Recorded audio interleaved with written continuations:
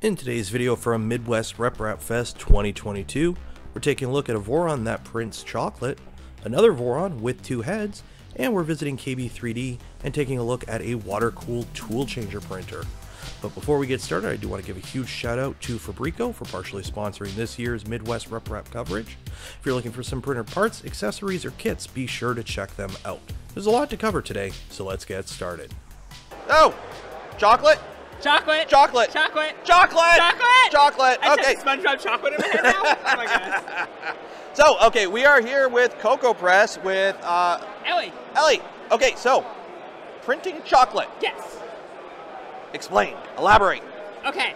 So the reason to print chocolate first is twofold. You can either make custom stuff, which is really cool, one-off chocolate bars that you can't get at a chocolate shop, or you can make intricate designs that are not possible to make with traditional chocolate making. Uh, example, my favorite example of that is like a gyroid infill chocolate. You can't make that any other way, not with 3D printing. Which you have some here. Yep, there it is. Yeah, because you're, you're not going to be able to. You're, you can't mold that. You can't mold that. You have overlapping shapes, you have overlapping stuff, and it actually creates kind of a cool texture when you eat it. So there, there's like a reason to do it. It's not. It doesn't just look cool. It also tastes cool. Okay. Yeah. So so you have your Cocoa Press here, Yep. which we we've seen this. This has been Yep. available for a while now. It's Yep. it's it's out there, but this um this is a little familiar to me. But there's something I can't quite put my finger on it. Something's different, and so Is it a giant extruder on it? maybe maybe. So so what is this? Is something new, obviously. Yeah. So this is a mini version of the printer. It's an early prototype. We're testing it out, but it's a chocolate printer based on the Voron V0.1. So so if I wanted to do this, okay, how, how much is different? What what what is different from a normal printer to one that does chocolate? So, it, from a, a normal plastic printer, you're saying? Yeah. So, if I wanted to convert my printer Yeah. to do this, so, So what's different? First, you need to extend the Z because we have this big cartridge that goes in there, and you need a way to actually get it into the, Okay. the printer. So we extend the Z a couple inches, and then you need something to actually heat the chocolate and extrude it. Um, we have a dual heating system in here that uh, heats it to about a tenth of a degree Celsius accuracy, and we're heating it to just below body temperature and pushing on it with about 40 or 50 pounds of force, and then it's solidifying uh, right when it's extruded. Cool.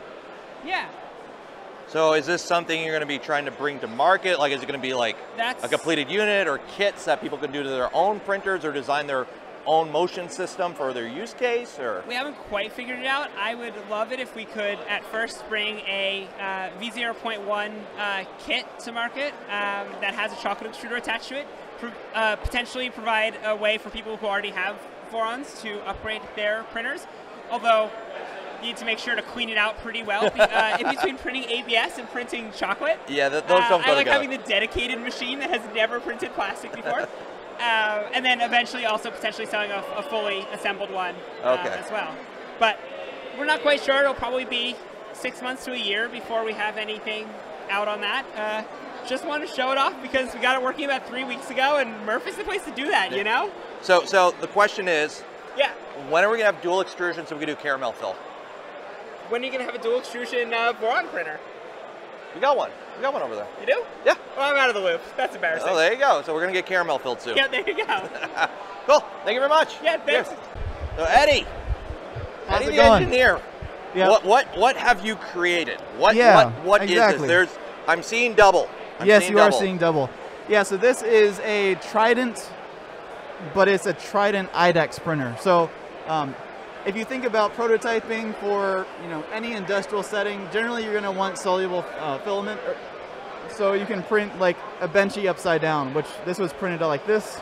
Um, but if you notice on those surfaces um, that are actually upside down, all those surfaces are really smooth because I was using dent supports. So this is really the holy grail for being able to print, you know, higher quality parts, um, especially if you're doing an injection molded part.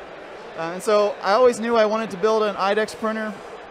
And since Steve did such a great job on Trident getting it all kind of refined, I took his design and ended up creating a two-head version, um, changing our NEMA 17 motors in the back to two NEMA 14 motors, Oh, um, and adding some additional belts on either side to handle the y-axis movement. So I've tried to keep as many parts the same as possible, which is really cool, uh, because then, you know, as the Trident gets updated, a lot of these parts can transfer over. I don't have to redo a bunch of work. There's still some refinement and things like that, um, but we do have the files on GitHub on the Franken Voron GitHub. Um, so if you want to try it out, I think there's maybe five or ten people that have actually built one of So these. if you're, you're adventurous, you can you can try yes, building one of it these. is. So- Uh, Here be dragons for sure. Okay, so right now for space, so you're not losing any Y, Correct. but Yep. how, how much are we losing on the X here? If you were to convert Yeah. an existing machine. For sure, yeah. So in this case, um, I have a frame that is 100 millimeters wider than it should be. So this is a 250 by 250 bed and a 350 wide X kind of frame size.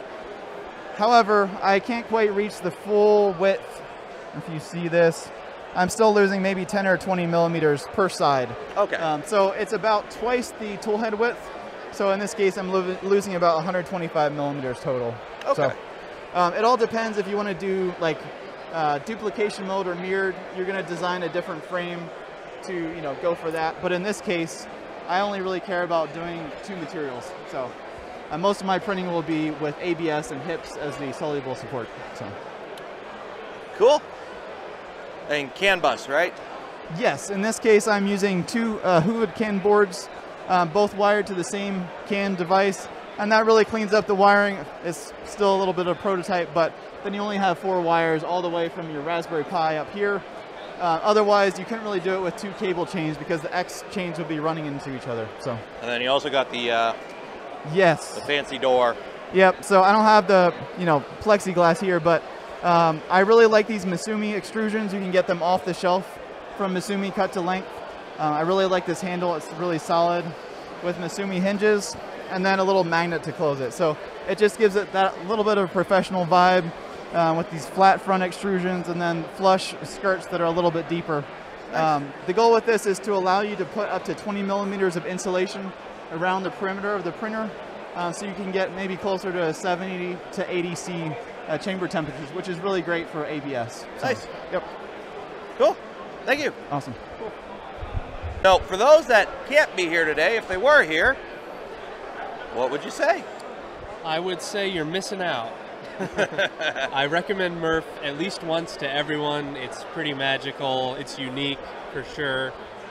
Um, yeah. So what but- do you guys got here?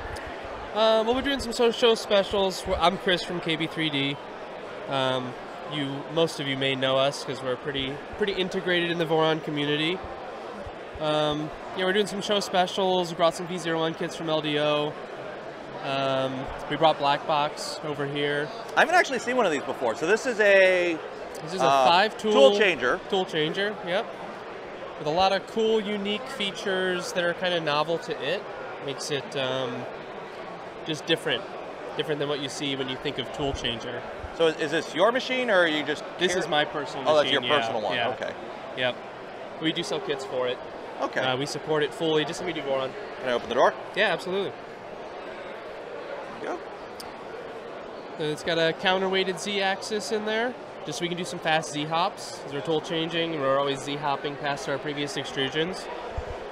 Um, it's uh, water cooled, which is neat. Oh, nice. Um, yeah. Actually, I can probably have it change the tool here for you. Yeah, it's a water cooled tool changer. It's done so passively. Um, so we're actually just uh, smashing the the cold side of the um, hot end up Okay. against this aluminum X plate and, and conductively sinking the heat out of it. Oh, oh. Okay. Yeah. So that so that is basically heat sink, water cooled, and the heat just transfers through. Exactly. Yep. And now that it's done homing, if you also look on the back side of the tools, there's an aluminum bar in the dock there that serves the same purpose. So we're also actively cooling them when they're docked. So is there water running through it, or is it just a heat sink? There's uh, it's water cooled at the very end there. You can kind of see the another Northbridge PC style water cooler. Okay. Cool. Um, so yeah, it's always pulling heat out of the tools, whether they're uh, active or not. So we can keep them at full printing temperature and just go pick up a tool when we want to print with it, and not wait for heat up or anything like that. nice. Yeah. Cool. Yeah, it's really, really nice machine. It's almost like furniture to me too. Um, um, yeah, I encourage you to go check out uh, the Sanjay V01 that we're re-auctioning. Okay. Um, and uh, yeah. cool. Thank you.